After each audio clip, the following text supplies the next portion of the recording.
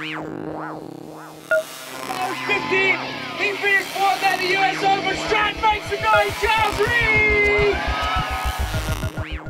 Hi, my name is Charles Reid. I'm 19 years old. I'm from uh, Quebec, Canada. And I'm riding since five years old. Let time fly by so fast. Any move you make nowadays could be your last. If you're ready for real, I stay the fuck in the back. This is the future, ain't no taking me back. No, you. I've always been riding since I'm seven years old for uh, the Burton Rap in Quebec. And in 2005, I think, they sent me to the US Open. And I got fourth at the US Open at 15 in slopestyle. So that was pretty much the start of my career.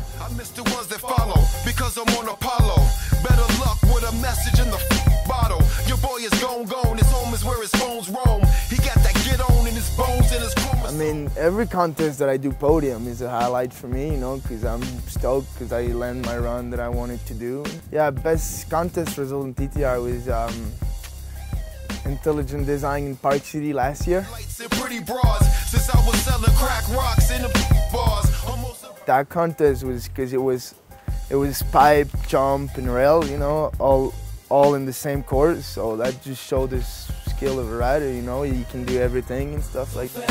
Any move you make nowadays could be your last. If you're not ready for real, I stay the in the back. This the future, ain't no taking me back. No, you. since two years, man, the snowboard progression's been crazy, you know, like double things and double flips, double cork, and.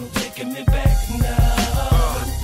every contest you gotta, like, if you wanna be up there on the podium, you gotta be like 100% going for it, you know, throw yourself down, up, upside down twice and stuff like that, you know, it's not, it's not necessarily the thing that I really like to do, you know, on a snowboard, but I kind of enjoy it, you know, because I, I mean, it's good to learn new tricks and stuff and learn new tricks, but I don't know about doing it every day, you know.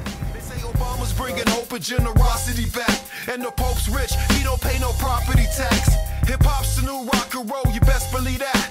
And I'm mixed swag and don't take specs to see that. See, I was hurting for a minute, now I'm certain that I'm in it. Overdue. I think the best thing I can say, man, is just keep shredding and having fun and progress your snowboard, you know, just, yeah, just try to having fun, man. It's a passion, you know, it's, it's not like, it's not about if you're better than him or not, you know, it's about what you do on a snowboard and when you think it's, it's good to do on a snowboard, you know, like.